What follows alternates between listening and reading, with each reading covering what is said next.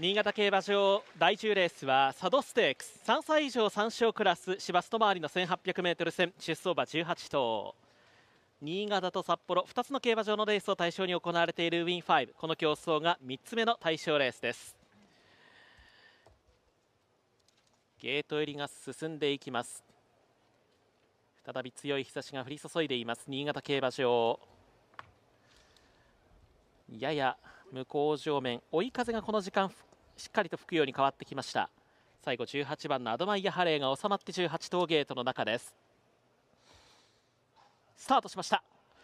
朝日とパラレルビジョン後方からアドマイヤ・ハレーダッシュがつきません。外16番ルドビックスがまずは飛び出して先頭でこのうちに14番トゥデイズ・ザ・デイ15番のエイカイステラ10番のルージュエクレール二の足がついて2番手の一角そしてスタート劣勢だった2番のパラレルビジョンもう2番手インコースです。あとは4番のオヌールが行って12番のジュリア・バローズ英会ステラ一旦下げて後位の一角。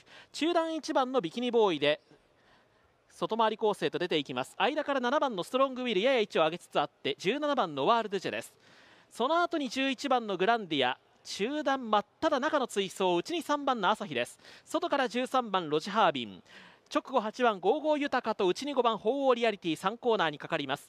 あとは9番ダノンレガーロ18番アドマイヤハレー。少し遅れて6番サンタグラシアが最後方を進んでいます。大きな3-4コーナーその中間にかかります。先頭16番のルドビックスリード3馬身半ほど取って残り800を過ぎました。スタートからの 1000m を59秒5でいっています。2番手に14番トゥデイズ・ザ・デイ4コーナーカーブ。3番手は内に2番のパラレルビジョン外に15番エイカイステラ差がなく12番ジュリア・バローズ10番ルージュエクレール4番のオヌールあとは中団から追い上げ開始7番のストロングウィルと17番のノワール・ドジェなど。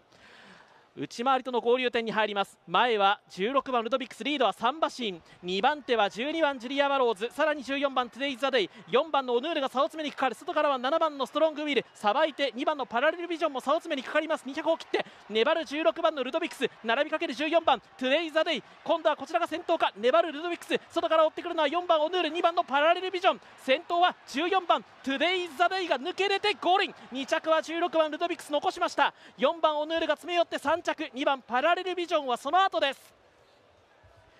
後位追走14番の Today is the day 前を行く16番ルドビックスを捉えて抜け出ました。時計は1分45秒0粘りに粘りました16番のルドビックスに。最後4番のオヌールとそして2番のパラレルビジョンが差を詰めてきています。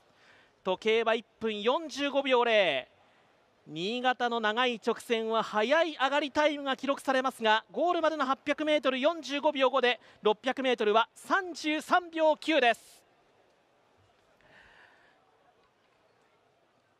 急遽津村明秀樹氏が手綱を握っていました。14番 Today's the day きっちりとゴール前で16番ルドビクスを捕まえました。